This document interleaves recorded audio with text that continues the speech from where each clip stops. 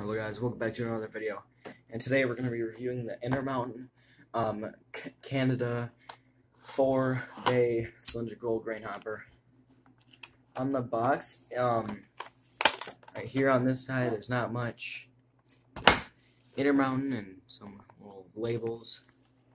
On this side, I got this at uh, Nankin Hobby Southgate for $47. Um, it's a cylindrical hopper. Says, uh, yeah, just HO's cover hopper. Pretty simple. It says on the side. And yeah, let's just open this up.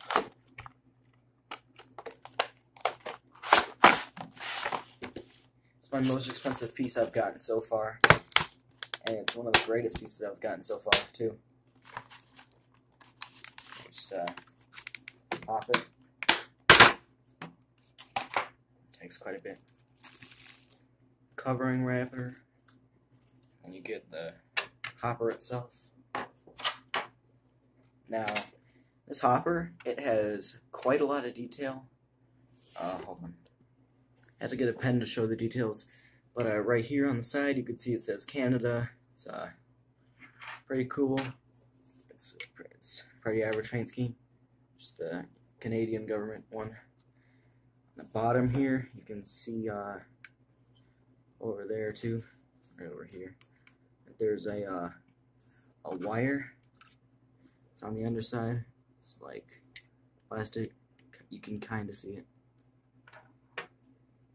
It's not really you can't really see it on camera, but yeah, right there, right there. Um, and uh, over here we have some brake detail. It's pretty good detail too.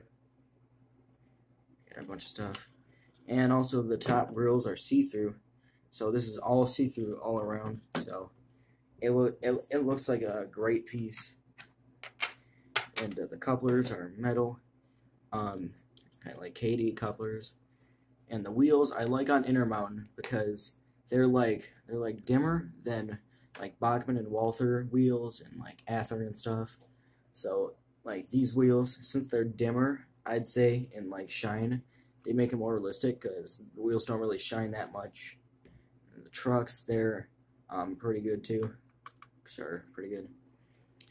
And uh, open uh, face right there. And it's a pretty good piece. Forty-six dollars. And here, this is compared to a Bachmann CN uh, one. It's um, it's supposed to be the exact same type, but Intermountain did a, a way better job than uh, Bachman.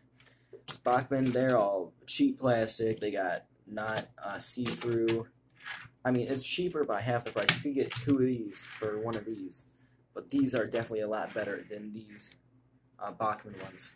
Plastic wheels, you know, plastic couplers, uh, it's just not good. But this Intermountain piece, it is really good. I recommend you guys should buy one, maybe even two, three, just to get on a grain train. These pieces are pretty cool. And yeah, so that's the end of the video. See ya.